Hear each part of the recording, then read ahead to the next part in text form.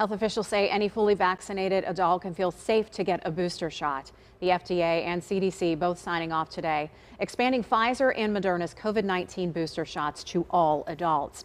And the hope is that the booster shots will slow down a new surge of cases across the country. Bryant Reed talked to a local doctor about the news. With the green light from both the FDA and the CDC committee, all that's left now is for the CDC director to give her approval. And with this latest news, Dr. John Sullivan, the chief medical officer with St. Clair Health, says we're on the right path. Over the past three to four months, he says they've seen an increase in COVID patients who are vaccinated, but the COVID booster has proven to reduce hospitalizations substantially.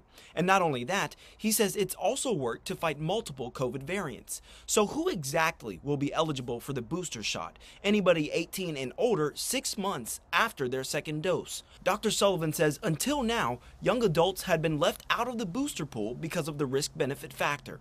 There was some debate about what degree of immunity had um, degraded in younger individuals with robust immune systems, and how uh, any potential benefit of having a boosted uh, shot at this stage would add to their level of immunity relative to what had been seen as more um, myocarditis, which is a rare risk in um, younger individuals who had received the shot. According to the CDC, about 18 million people have already received the COVID booster shot. And with the holiday season here, Dr. Sullivan is stressing the importance of not only getting a booster, but making sure those who haven't been vaccinated at all get at least the first dose.